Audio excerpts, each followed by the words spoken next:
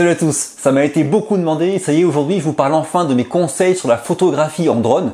Donc il y a plein de conseils que j'ai regroupés en quatre catégories, en quatre thèmes, et il y aura un cinquième thème bonus, vous verrez la petite surprise à la fin de la vidéo. Point numéro 1, la préparation. Alors bien souvent, on est en balade, on voit un coin sympa, on décolle le drone, on prend des photos sans réfléchir, et bon, c'est très bien, hein, il faut le faire, il n'y a pas de souci. Mais d'autres fois, on a la possibilité de préparer à l'avance. On sait qu'on ira bientôt dans un endroit, et on a le temps de préparer un petit peu plus euh, ce qu'on y fera. Donc euh, moi, ce que je vous conseille, c'est d'utiliser Google Earth pour aller voir un petit peu l'endroit où vous irez et pouvoir voir euh, depuis depuis Google Earth des, des vues sympas, des points de vue sympas, des choses qui passent, un petit lac, une voie ferrée, un truc que vous auriez peut-être raté en allant sur place directement. Et donc utiliser Google Earth permet d'avoir des idées de choses à ne, à ne pas rater quand on sera sur place. C'est aussi l'occasion bien sûr de voir un petit coup sur la carte Géodrone, c'est en France, euh, un petit peu l'application de mon pote Hubert euh, Drone Spot, ou euh, de voir AirMap, bref, de se renseigner un petit peu sur les ce qui se fait, ce qui se fait pas localement au niveau réglementation et au niveau photo, ce qui peut être sympa à faire. Par exemple, récemment, je suis allé dans l'Estérel pour prendre des photos de drone pour cette vidéo,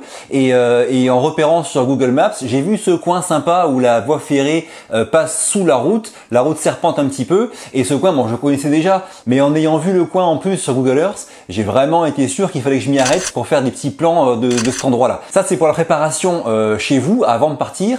Mais quand on est sur place, eh ben, il y a aussi un petit temps de préparation pour réfléchir un petit peu. D'une part, euh, à qui ça n'est jamais arrivé de décoller, de prendre des photos et de se rendre compte plus tard qu'on avait une saleté sur l'objectif. Donc pensez bien, c'est tout bête, hein, mais à laver un petit peu votre objectif euh, pour enlever les poussières ou les traces de, doigts. Et deuxième point, bah, les points classiques, avant de décoller, un petit tour à côté, voir s'il n'y a pas des, des gens qu'on peut euh, déranger ou un autre drone qui vole ou des oiseaux, comment se comportent les animaux. bref, repérer un petit peu s'il n'y a rien de dangereux. Et aussi réfléchir un peu à ce qu'on avait prévu de faire comme photo. Maintenant qu'on est sur place, est-ce que vraiment euh, ce qu'on voulait faire avec Google Earth est faisable Est-ce qu'il n'y a pas mieux aussi à faire? Bref, l'idée c'est quoi? C'est comme j'en ai parlé dans ma vidéo au fil des conseils sur le sur le drone, eh bien de une fois sur place, avant de décoller, avant de commencer à pomper sur la batterie, de réfléchir un maximum à ce qu'on va faire pour optimiser au mieux le temps de vol avec la batterie. Deuxième point dont je vous parle, c'est la composition. Ah, c'est un peu des, des banalités, mais voilà, pour ceux qui ne savent pas, euh, en drone, moi ce qui me plaît, c'est de faire des photos qui sont différentes de ce que je ferais avec mon appareil photo au sol. Donc vraiment qu'il y ait une plus-value apportée par le point de vue original. Donc en drone, il y a trois styles de, photos qui marchent bien. Il y a le top-down, donc la vue, euh, la caméra est, pointée vers le sol, une vue verticale très originale.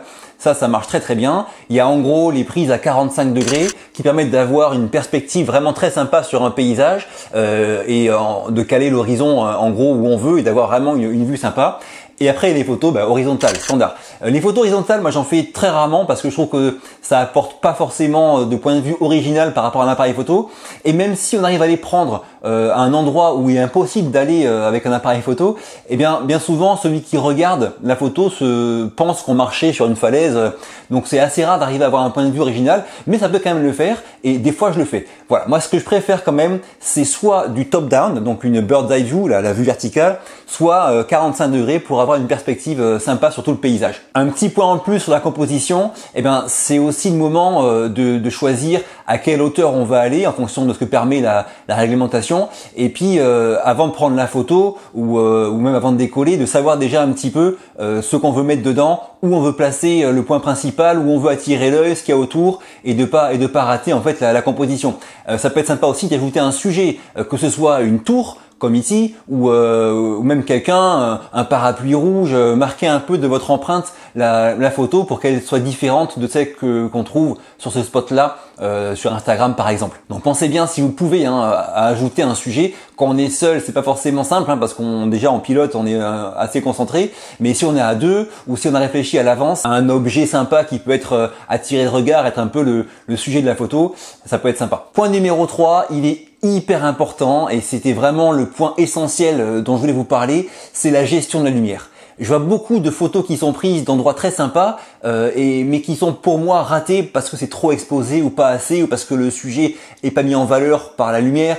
Euh, donc on va parler en détail de la gestion de la lumière sur la photo. Alors déjà, pour commencer, il y a le choix de l'heure. Comme vous savez, il y a des heures qui sont plus ou moins propices à prendre des photos. les heures qui sont proches du coucher et du lever du soleil sont des heures qui sont très sympas au niveau, euh, au niveau intensité et teinte de la lumière, au niveau des ombres qui sont très longues.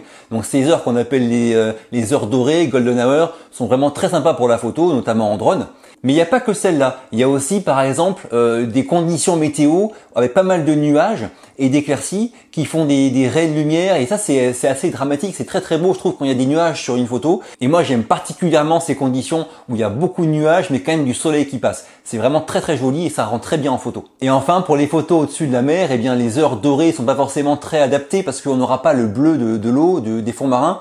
Et du coup, dans ces cas-là, je préfère plutôt euh, la matinée, quoi, vers, vers 9-10 heures l'été, quand le soleil est déjà un petit peu haut et permet d'avoir euh, la belle couleur des fonds marins. Donc voilà, pensez à l'avance déjà à l'heure à laquelle vous allez prendre votre photo et en fonction, il faudra adapter vos prises de vue. Mais bon, bien sûr, on n'est pas tout le temps disponible pour aller prendre des photos en drone euh, quand le soleil se lève et donc des fois, on est à midi avec une luminosité vraiment forte au-dessus de la mer, c'est beau, on sort le drone, et, là, faut bien faire ce qu'on qu'on peut. Du coup, maintenant, je vous parle de ce point-là, les scènes très contrastées, comment moi je gère la lumière et ce que je vous conseille de faire sur des scènes difficiles. Alors sur les drones, comme vous savez, il y a un mode automatique et un mode manuel. Euh, la pire des choses qu'il y a à faire, c'est de laisser un mode automatique et de laisser le drone gérer tout seul. Sur une scène très contrastée, par exemple en mer, euh, à, midi avec beaucoup de soleil, si vous laissez faire le drone, vous ne pourrez pas avoir un bon résultat. Parce qu'il y aura peut-être des bateaux blancs ultra lumineux, des fonds marins euh, euh, assez sombres, et il saura pas faire. Si vous mettez les bateaux blancs bien exposés, les fonds marins seront tout noirs, vous verrez rien. Et à l'inverse, si vous mettez les fonds marins euh, bien avec leur belle couleur, vous aurez un bateau blanc cramé. Donc ce sera à vous d'aider le drone pour en tirer le meilleur. Le minimum, si vous restez en automatique, c'est d'appuyer sur l'application DJI Go 4 à l'endroit où vous voulez choisir de régler l'exposition. Euh, typiquement, dans ce cas-là d'une photo prise en mer avec un bateau blanc et beaucoup de soleil, eh bien, il va falloir appuyer sur le bateau blanc avec votre doigt de manière à ce que le drone règle l'exposition sur ce bateau blanc. Du coup, le shutter va euh, être très très rapide pour que le bateau blanc soit pas cramé et euh, les couleurs de la mer vont être beaucoup plus sombres. Mais ça peut être bien aussi d'avoir une mer sombre, même si elle garde des couleurs, ça fait une ambiance très sympa à la photo et ce côté sombre dans une photo de mer l'été ou en, en hiver, mais en tout cas avec beaucoup de lumière, c'est vraiment très joli, très très stylé. Et du coup, on va même essayer de, de, faire des photos comme ça avec ce côté un petit peu sombre sur des scènes qui sont très très lumineuses. Donc premier point, le mode automatique, mais vous choisissez vous-même où faire l'exposition. En l'occurrence, exposition sur le bateau qui est cramé. Mais bon, comme vous savez, le meilleur mode pour tirer profit de ce genre de photos, ça va être le mode manuel. On parle de ça maintenant. Donc pour les scènes très très contrastées au niveau euh, lumière, euh, mode manuel, moi ce que je vous conseille, j'en ai parlé déjà, c'est d'utiliser déjà l'histogramme. Donc moi je me l'affiche, l'histogramme, sur mon application DJI Go 4, il y est toujours. Euh, et on va essayer de viser un histogramme légèrement sur la gauche, c'est-à-dire euh, une photo qui sera légèrement sous-exposée. Ça va être le but. Bien sûr, on est en ISO 100, l'ISO au plus bas possible, pour garder un maximum de précision dans l'image. On va utiliser un filtre polarisant, parce que pour les photos qui sont au-dessus de l'eau, euh, c'est vraiment top. Hein. Vous allez gagner non seulement au niveau de la couleur de l'eau, de, de, la visibilité des fonds marins, parce que les reflets n'y seront plus. En tout cas, il y aura moins de reflets. Et vous allez avoir un peu plus de saturation des couleurs. Donc un filtre polarisant pour les photos en mer, ça me semble vraiment indispensable. D'ailleurs, je vous conseille dans la description de la vidéo quelques filtres polarisants euh, que je sais très bons. Et enfin, on prend des images en RAW. Je vous conseille vraiment de prendre des images en RAW.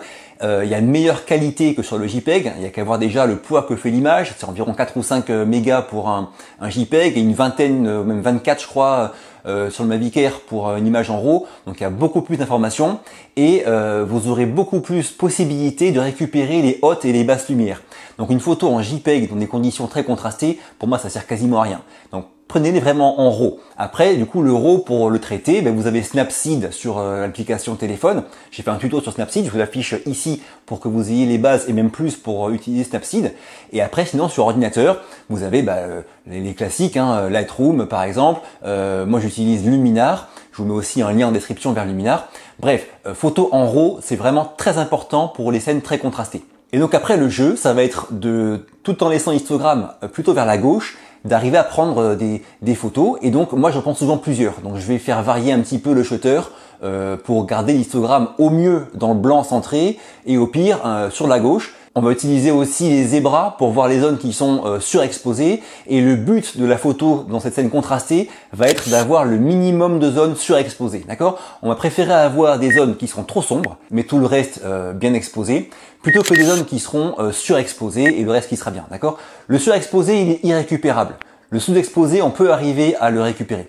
Donc vraiment, euh, le minimum de zones surexposées et bateau blanc que vous allez prendre comme référence, on va dire, et lui, il faudra le garder bien exposé. Si le reste est un peu sous-exposé, c'est pas grave. Et donc après, eh ben, vous avez deux possibilités. Moi, souvent, je prends plusieurs photos en faisant varier un peu la vitesse d'obturation, le shutter, pour être sûr d'avoir euh, euh, dans, dans, le lot de photos que j'aurais prises au moins une de, ou deux de, de sympa. Euh, et l'autre possibilité, qui marche très bien aussi, c'est la fonction AEB, c'est le bracketing. Le bracketing, en fait, il va prendre 3 ou 5 photos ou 7 selon les drones en faisant varier l'exposition. Donc vous en aurez qui seront sous-exposés, d'autres surexposés. Et le but, ça va être qu'après, on pourra assembler ces photos pour euh, récupérer les zones sombres avec les photos surexposées et récupérer les zones cramées avec celles qui sont sous-exposées.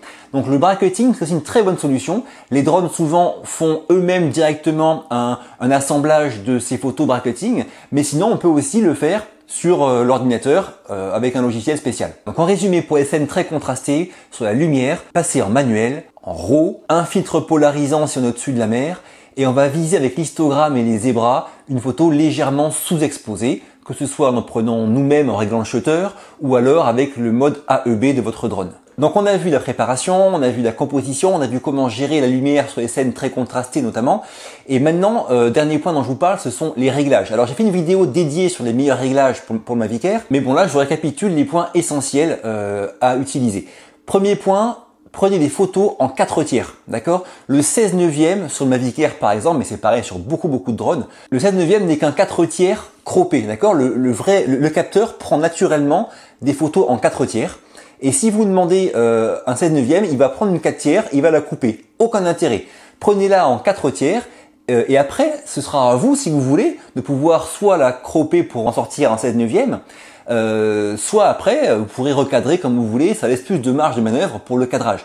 Donc vraiment, 4 tiers obligatoire. Prenez les photos en RAW, encore une fois, euh, sur un, drone comme ça, comme Mavic Air par exemple, c'est vraiment très important, ça fait plus de qualité et ça se verra après sur la photo finale, sur la publication Instagram, euh, sur votre marge de manœuvre pour les pour gérer les lumières et les couleurs. C'est vraiment important de, de shooter en RAW sur ce genre de drone. La balance des blancs, contrairement à la vidéo, laissez-la en automatique sur une photo qu'on prend en RAW, aucun intérêt à bouger la balance des blancs, on pourra le faire après avec un logiciel ou une application. Utilisez les grilles de composition, les grilles, vous savez, euh, verticales et horizontales. Euh, ça, c'est vraiment très important pour pouvoir choisir comment cadrer votre photo, où est votre sujet, voir si on est bien droit par rapport à la route. Parce que le but, c'est vraiment après d'avoir le moins possible à rogner votre photo, d'accord? Donc si dès le début elle est bien droite, bien cadrée, bien bien composée, après il y aura moins de choses à faire pour euh, au niveau rognage et donc vous aurez une meilleure qualité. Donc ces grilles, elles servent vraiment aussi à ça. On a vu l'histogramme. Euh, moi, il me sert tout le temps en vidéo comme en photo, quel que soit l'appareil. Donc histogramme, ça me paraît vraiment très important. Et pour rappel, sur les scènes très contrastées en lumière, on le laisse euh, plutôt vers la gauche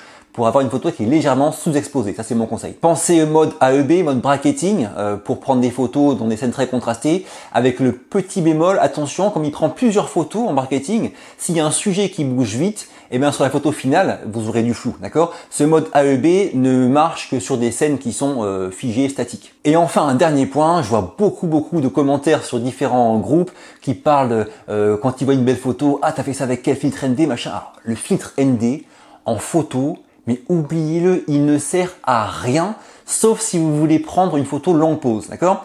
Un filtre ND, c'est une couche de verre en plus qui donc dégrade euh, la, qualité, et en, photo, il va vous faire un shutter lent, donc du flou de, mouvement sur votre photo, il va rien apporter ni en couleur ni en lumière, ça ne sert à rien en photo. Euh, le, le, shutter, l'obturateur du Mavic Air va jusqu'à 1 8 millième de seconde. Je vous mets au défi de trouver une scène où il y a besoin d'aller aussi haut que ça. Euh, franchement, un filtre ND en photo ne sert à rien. Par contre, un filtre polarisant, Là oui, c'est très important, notamment sur la, sur la mer. Alors comme promis, il y a un cinquième point bonus. Euh, comme vous savez, ceux qui me suivent sur Instagram, je publie régulièrement des photos prises en drone, euh, mais pas que ça, hein, même c'est une, minorité de photos, on va dire, sur mon compte, mais j'en ai quelques-unes. Et il y a quelques comptes que je suis de personnes qui ont vraiment des photos magnifiques prises en drone, notamment Edouard. Alors Edouard, lui, il a un, compte Instagram dont je vous mets le lien ici, qui est magnifique. Il prend beaucoup de photos, euh, même que des photos, je pense, en, top-down, euh, bird eye view, a des vues verticales de haut, et il a une, gestion de la lumière, des ombres, euh, de, mise en avant des, sujets, euh, qui, est vraiment superbe. J'adore ce qu'il fait. Et donc, je me suis dit que ça pourrait être sympa que dans cette vidéo-là, où je parle de photos, et ben, qu'il nous explique un petit peu comment lui, il gère ça, comment il gère la lumière, comment il gère les ombres, que ce soit à la prise de vue et aussi à la retouche avec Lightroom. Donc, je vous présente Edouard, et je laisse Edouard vous expliquer comment il travaille. Bonjour à tous, je suis Edouard, je suis photographe aérien et télépilote professionnel. Donc aujourd'hui, je vais vous donner quelques astuces pour réussir de belles photos aériennes en drone euh, au-dessus de l'eau notamment. Donc je vais d'abord vous parler du matériel. Donc moi j'utilise un Mavic 2 Pro de chez DJI, mais les conseils que je vais vous donner sont valables pour absolument tous les drones. Euh, le deuxième équipement qu'il faut absolument avoir lorsqu'on fait des photos drone au-dessus de l'eau, ça va être des filtres, et notamment des filtres polarisants. Pourquoi? Parce qu'ils vont euh, réduire les reflets de la lumière sur l'eau, ils vont améliorer les couleurs et puis ils vont euh, surtout euh, améliorer aussi le rendu de la surface de l'eau. Il va y avoir un peu plus de profondeur, ça va vraiment rendre l'ensemble bien plus sympathique. Ensuite, ce dont je veux vous parler, ce sont des heures de la journée à laquelle vous devez shooter. Si vous voulez euh, shooter un sujet particulier, euh, par exemple une personne ou un surfeur qui serait sur la plage, il vaut mieux privilégier les levées de soleil et les couchers de soleil pour avoir des belles ombres portées et ça va vraiment rajouter du caractère à l'image et, vraiment une réelle perspective. Ensuite, je voudrais vous parler du cadrage et de la composition. Donc là, moi, ce que j'aime bien faire, c'est réaliser, comme vous pouvez voir sur les photos que je fais, des splits euh, entre l'eau et la plage, notamment, souvent en diagonale. J'aime beaucoup ça, euh, et ça donne vraiment une image assez sympathique. Euh, j'aime bien placer le sujet en essayant de respecter la règle des tiers. donc voilà, pour vraiment une, donner une composition harmonieuse, ou alors vraiment, je vais centrer ma photo sur le sujet, et le sujet sera vraiment au milieu avec un certain minimalisme. Ensuite, il y a des choses importantes, c'est la symétrie. Moi, j'aime beaucoup utiliser euh, la notion de symétrie, ça fonctionne très bien en drone. Donc, euh, donc voilà, c'est comme vous pouvez le voir sur ce genre d'image, euh, on a vraiment une symétrie. le sujet est vraiment au milieu et ça donne vraiment quelque chose de sympa au niveau de la compo. ensuite, essayez de baser vos compositions sur les lignes directrices naturelles. Par exemple, la frontière entre l'eau et la plage, une vague qui va faire vraiment une ligne naturelle, euh, un ponton, voilà, quoi que ce soit au-dessus de l'eau qui peut vous donner en fait euh, vraiment des lignes directrices naturelles et c'est toujours intéressant de baser ces photos drones là-dessus. Ensuite, au niveau des retouches, alors la première chose c'est qu'il faut toujours shooter en RAW, euh, voilà, donc avec DJI par exemple c'est en .dng et ça pour avoir une plus grande liberté au niveau du post-traitement. En fait, l'appareil va enregistrer beaucoup plus d'informations et du coup, vous allez pouvoir faire des retouches bien plus facilement. Euh, moi, en général, au niveau des retouches, euh, je renforce les noirs. Je joue sur la texture, la clarté, la correction de l'objectif. Déjà, rien que ces paramètres-là vont vraiment donner euh, une, une, dimension différente à la photo et vraiment améliorer l'image. Donc après, moi, je joue aussi beaucoup sur l'exposition à différents endroits de l'image pour vraiment renforcer le côté clair-obscur euh, de la photo. Voilà, comme vous pouvez le voir, si je vais avoir euh, une lumière qui va arriver, euh, par exemple, de la droite vers la gauche, je vais renforcer le côté lumineux de la photo et je vais assombrir le côté qui est dans l'ombre pour vraiment donner du relief. Euh, c'est vrai que en général, une photo drone, ça va être peut-être un peu écrasé en fonction de la hauteur, à cause de la hauteur de, l'appareil et, et, de l'angle de vue de la caméra. Donc pour donner un peu plus de volume et de relief euh, aux photos, j'aime bien vraiment accentuer les ombres et les, et les lumières. Donc ensuite, vous pouvez jouer aussi sur les courbes euh, pour renforcer les contrastes et sur la balance des couleurs bah, pour rendre euh, par exemple la couleur de l'eau ou la couleur du sable un peu plus euh, photogénique. Je veux dire, voilà, si vous voulez une eau un peu plus bleue, un, sable un peu plus rouge, vous pouvez jouer sur ces paramètres-là. Moi, en général, c'est ce que je fais et ça, et ça fonctionne plutôt pas mal. Voilà un petit peu pour mes, conseils. Euh, bah, J'espère qu'ils vont pouvoir vous aider euh, dans, vos prises de vue drone. Et puis bah, je rends la parole à Max et un grand merci pour m'avoir laissé intervenir sur ta vidéo. Merci beaucoup Edouard, c'est vraiment super sympa. Comme tu sais, j'aime beaucoup ce que tu fais. Et donc euh, je suis vraiment très content euh, d'avoir pu avoir tes, petits conseils sur cette, vidéo. Je pense que ça apporte vraiment une plus-value pour aller encore plus loin. Voilà, donc si la vidéo vous a plu, un petit commentaire, dites-moi ce que vous en avez pensé euh, en dessous. Ceux qui ne me connaissent pas, ben, je parle beaucoup de vidéos, de photos, de drones, de voyages sur ma chaîne YouTube. Pensez aussi à, vous abonner si ça vous a plu. Moi je vous quitte, à très vite pour la prochaine et d'ici là, bougez-vous purée. Bougez-vous.